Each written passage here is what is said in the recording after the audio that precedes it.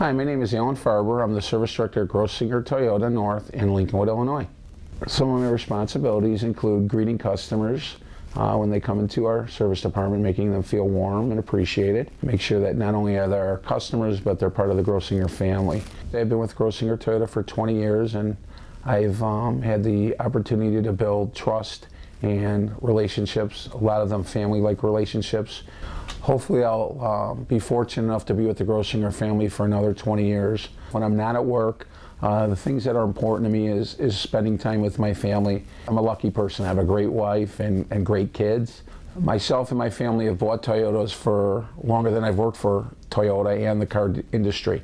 I'm currently driving a 2011 Venza, and I must say um, it is a great car. Not only is it great in handling and great in the winter, but it's also great um, as far as acceleration. It really is a fun, fun car to drive. We always care about our people that come through the door, whether it's the front door for sales or the back door for service.